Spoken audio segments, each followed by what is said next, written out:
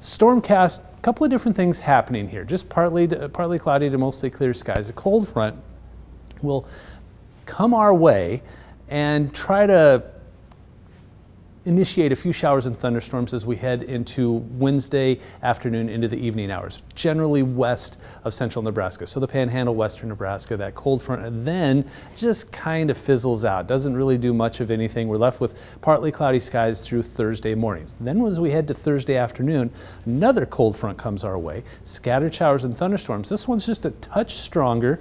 It will make its way east and these showers and thunderstorms have been kind of, the models have them either north and then south and then north and then, so exactly where these storms are going to roll through as we head into late Thursday into early, early, early Friday morning.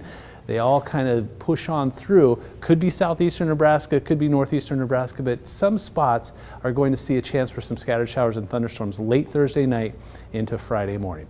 Tonight, though, quiet, warmer by about 10 degrees. A southwest wind will keep us a little warmer, middle 60s, and then highs tomorrow.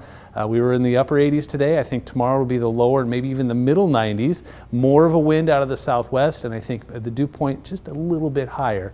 Not terrible, but just a little higher. 66 degrees tonight, mostly clear and warmer in the capital city than 93, warming back up and a little on the breezy side. Southwest wind at 10 to 25 miles per hour. The next seven days, a little up, a little down. We'll be in the middle and upper 90s Wednesday and Thursday, then back down into the middle 80s for Friday, Saturday, heading into the holiday weekend. Morning showers possible on Saturday, and then a good chunk of Saturday and Sunday should be dry. And those temperatures on Saturday and Sunday in the middle and upper 80s, that's not a bad way to start the holiday weekend. 4th of July does have a chance of some isolated showers and thunderstorms, a little bit warmer, and then a little unsettled as we head towards next week. So the really dry and the cooler than average temperatures, I think, are done for now. But the humidity hasn't been too bad, and that will continue into tomorrow. I'm looking forward to some more rain chances, so glad to see those in the forecast. Absolutely.